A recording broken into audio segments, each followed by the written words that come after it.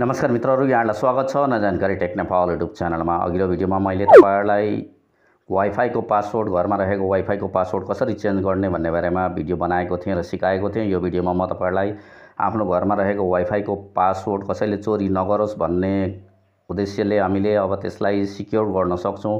त्यसलाई हामीले त्यो सेयर पासवर्डको अप्सन जुन हुन्छ त्यो share password QR scan password त्यो जुन हुन्छ त्यसलाई हामीले अफ गरेर चाहिँ हाम्रो घरको वाइफाईको पासवर्ड कसैले पनि नचोरोस् भन्नका लागि हामीले केही सेटिङ गर्न सक्छौँ त्यो क्युआर स्क्यानलाई अफ गर्न सक्छौँ सेयर पासवर्डलाई बन्द गर्न सक्छौँ। त्यो बन्द गरिसकेपछि हाम्रो वाइफाईको पासवर्ड कसैले पनि सेयर गर्न सक्ने छैन थाहा पाउन सक्ने छैन र सिक्योर हुन्छ। म तपाईँलाई देखाउँदैछु।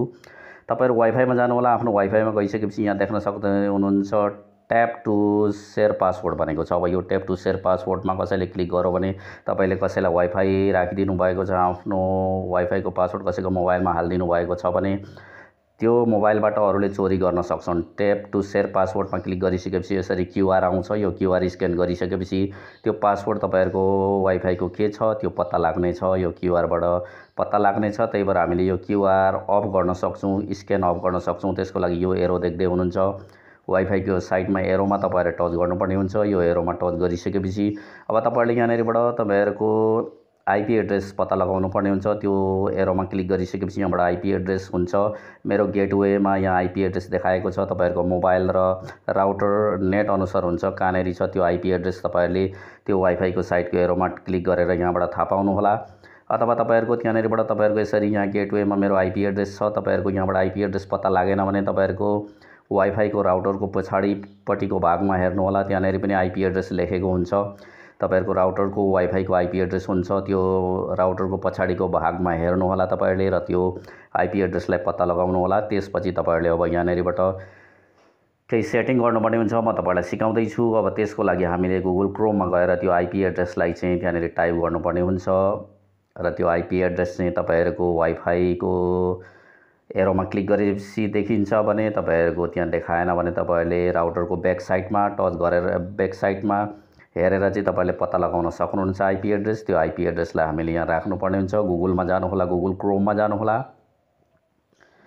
अब गुगल क्रोममा गइसकेपछि तपाईँहरूले माथितिर सर्च बारमा जानुहोला। यहाँनिर म माता तपाईँहरूलाई देखाउँदैछु। माथि सर्च बारमा तपाईँले त्यो आइपी एड्रेस जुन छ त्यो आइपी एड्रेसलाई चाहिँ तपाईँहरूले यहाँनिर जस्ताको तस्तै टाइप गर्नुपर्ने हुन्छ। मेरो आइपी एड्रेस मैले टाइप गर्दैछु तपाईँहरूले पनि टाइप गर्नुहोला। यसरी आइपी एड्रेसलाई मिस्टेक नगरिकन यहाँ टाइप गर्नुहोला र त्यति आइपी एड्रेसलाई यहाँ राखेर चाहिँ तपाईँले सर्च गर्नुहोला। सर्च गरिसकेपछि अब तपाईँलाई यहाँनिर यस्तो देखाउँछ। यहाँनिर एकाउन्ट र पासवर्ड भनेको छ। तपाईँहरूको यो भनेको चाहिँ तपाईँहरूको राउटरको एकाउन्ट र पासवर्ड हो। यहाँनिर कसै कसैको एडमिन एडमिन हुन्छ। पासवर्ड भने तपाईँहरूको के छ तपाईँहरूको राउटरको पछाडि पनि लेखेको हुन्छ। यदि राउटरको पछाडि यो एकाउन्ट र पासवर्ड तपाईँहरूको छैन भने तपाईँहरूले तपाईँहरूको कुन नेट हो त्यो नेटको अफिसमा कल गरेर माग्न सक्नुहुन्छ। नेटका कर्मचारी कुन नेट जोड्नु भएको त्यो कर्मचारीहरूसँग पनि तपाईँले माग्न सक्नुहुनेछ। तपाईँहरूको आइपी यो एकाउन्ट र पासवर्ड चाहिँ जरुरी हुन्छ। त्यसपछि त्यो राखेर चाहिँ तपाईँहरूले यहाँनिरबाट लगइनमा टच गर्नुहोला। एकाउन्ट र पासवर्ड राखेर लगइन गरिसकेपछि अब तपाईँहरूले यहाँनिरबाट चाहिँ तपाईँहरूले यो इन्टरफेस देख्न सक्दै हुनुहुन्छ। यो इन्टरफेस देखिसकेपछि अब तपाईँहरूले यहाँनिर माथितिर म तपाईँलाई जुम गरेर देखाउँदैछु। जब हामीले एकाउन्ट र पासवर्ड राखिसकेपछि त्यो राउटरको पछाडि हुन्छ पछाडि छैन भने तपाईँहरूले आफ्नो नेट कुन राउटर हो कुन कम्पनी हो त्यो कम्पनीका कर्मचारीहरूसँग माग्न सक्नुहुन्छ उहाँहरूले दिनुहुनेछ। यो इन्टरफेस आउँछ यो इन्टरफेस आइसकेपछि अब तपाईँले माथितिर यहाँ देख्न सक्दै हुनुहुन्छ वालेनको अप्सन यो वालेनमा तपाईँहरूले टच गर्नुपर्ने हुन्छ यहाँनिर देख्न सक्दै हुनुहुन्छ। यो वालेनको अप्सनमा टच गर्नुहोला वालेनमा टच गरिसकेपछि अब तपाईँहरूले यहाँनिरबाट तलतिर अलिकति सार्नुभयो भने वालेनमा टच गरेर चाहिँ तलतिर अलिकति तलतिर सार्नुभयो भने तपाईँले यहाँनिरबाट यो इन्टरफेस देख्न सक्दै हुनुहुन्छ। यो इन्टरफेस देखिसकेपछि अब तपाईँहरूको यहाँनिर चाहिँ देखाएको छ खै अप्सन यो अप्सनलाई हामीले चेन्ज गर्नुपर्ने हुन्छ। यहाँ माथितिर देख्दै हुनुहुन्छ डब्लुपिए डब्लुपी टु पिआर सेयर कि भनेको छ। यो ठाउँमा तपाईँहरूले टच गर्नुहोला। अब तपाईँले यो ठाउँमा टच गर्नुपर्ने हुन्छ। यहाँनिर टच गरेर चाहिँ यहाँनिर चेन्ज गर्नुपर्ने हुन्छ। त्यहाँ टच गरिसकेपछि धेरै अप्सन आउँछ। नि मध्ये तपाईँले यो सेयरको अप्सन देख्दै हुनुहुन्छ। यो सेयरको अप्सनमा तपाईँले टच गर्नुपर्ने हुन्छ। यहाँ टिक लगाउनु पर्ने हुन्छ। यो सेयरमा टिक लगाउनु होला अब तपाईँले यहाँनिर जब सेयरमा टिक लगाउनु हुनेछ त्यसपछि तपाईँहरूको यो इन्टरप्रेस आउँछ त्यसपछि तपाईँले यहाँनिर केही छेडछाड नगर्नु होला यहाँनिरबाट केही पनि नचलाउनु होला त्यति एउटा सेयरको अप्सनलाई छान्नु होला छानिसकेपछि अब तलतिर अलिकति सार्नु भयो भने तपाईँले यहाँनिरबाट कि वान कि टू कि थ्री कि फोर भनेको छ। यहाँनिरबाट तपाईँहरूको चारवटा अप्सन छ नि चारवटा अप्सनमा तपाईँले अब यहाँनिर पासवर्ड लगाउनु पर्ने हुन्छ। यो चारवटामा तेह्र क्यारेक्टर्सदेखि छब्बिस क्यारेक्टर्ससम्मको तपाईँले यहाँनिरबाट पासवर्ड राख्नुपर्ने हुन्छ। यो चारवटामा एउटै पासवर्ड राख्नुपर्ने हुन्छ तपाईँले। यहाँनिर अब यहाँ हाइट छ हाइटमा तपाईँहरूले टच गरेर यो के राखेँ भनेर मिस्टेक भयो तपाईँहरूले चारवटामा एउटै राख्दा मिस्टेक गर्नुभयो भने यो हाइटको अप्सनलाई तपाईँहरूले टिक हटाएर चाहिँ तपाईँले के राख्दै हुनुहुन्छ त्यहाँ देखा पर्छ। त्यसपछि तपाईँले यो चारवटामा एउटै पासवर्ड राख्नुहोला पासवर्ड राख्नका लागि तपाईँहरूले capital letter small letter mix गरेर राख्न सक्नुहुनेछ। र केही क्यारेक्टर्सहरू तपाईँले लगाउनु होला त्यहाँनिर र स्ट्रङ पासवर्ड बनाउनु होला। म यहाँ तपाईँहरूलाई अब म यहाँ राख्न जाँदैछु तपाईँले पनि यहाँ राख्नुपर्ने हुन्छ। यो चारवटा की छ यो चारवटामा चाहिँ तपाईँहरूको पासवर्ड हुन्छ। यहाँ पासवर्ड चाहिँ तपाईँले यहाँ अब राख्नुपर्ने हुन्छ। पासवर्ड राख्नका लागि तपाईँले यो चारवटामा एउटै पासवर्ड राख्नुपर्ने हुन्छ। जे माथि राख्नुभयो त्यही तल राख्दै राख्दै चारवटामा एउटै खालको बनाउनु पर्ने हुन्छ। मैले यहाँनिर राख्दैछु तपाईँहरूले पनि यसरी राख्नु होला यी चारवटामा माथि तपाईँले सुरुमा जे राख्नुभयो ती तल तिनवटामा पनि त्यही राख्नुपर्ने हुन्छ।